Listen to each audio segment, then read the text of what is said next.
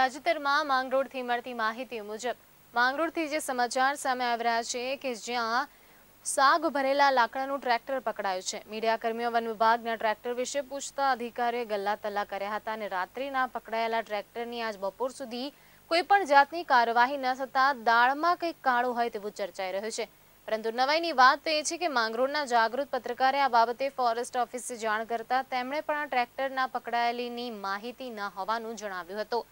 તેમજ માંગરોળ પંથકમાં સાગના લાકડાઓ સાથે પકડાયેલ ટ્રેક્ટરની ચર્ચા જોરશોરથી ચાલી રહી છે. સામાન્ય રીતે કોઈ પણ વ્યક્તિ જંગલના નીતિ નિયમો કે બોર્ડર ક્રોસ કરે તો વન વિભાગ તાત્કાલિક તેને દંડ ફટકારે છે, તેના ઉપર કાર્યવાહી કરે છે. ત્યારે નવાઈની વાત એ છે કે આખી રાત અને અડધો દિવસ વીતી ગયા પછી પણ માંગરોળ ફોરેસ્ટ દ્વારા પકડાયેલા ટ્રેક્ટરની કોઈ પણ જાતની કાર્યવાહી ન થતાં ચર્ચાનો વિષય બન્યો છે. તમને ફરીવાર જણાવી દઈએ, માંગરોળમાંથી સાગ ભરેલા લાકડાનું ટ્રેક્ટર પકડાયું છે. મીડિયા વન વિભાગના ટ્રેક્ટર વિશે પૂછતા અધિકારીઓએ ગલ્લા તલ્લા કર્યા હતા. કાલે રાત્રિના પકડાયેલા ટ્રેક્ટરની આજ બપોર સુધી કોઈ પણ જાતની કાર્યવાહી ન થતા દાળમાં કંઈક કાળો હોય તેવું ચર્ચાઈ રહ્યું છે.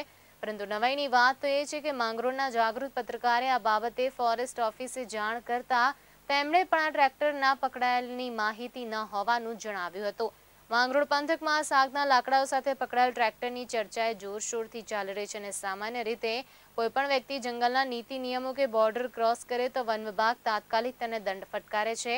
તેની ઉપર કાર્યવાહી કરે છે. ત્યારે નવેની વાત તો એ છે કે આખી રાત અને અડધો દિવસ વીતી ગયા પછી પણ માંગરોળ ફોરેસ્ટ દ્વારા પકડાયેલ ટ્રેક્ટરની કોઈ પણ જાતની કાર્યવાહી ન થતાં ચર્ચાનો વિષય બન્યો છે.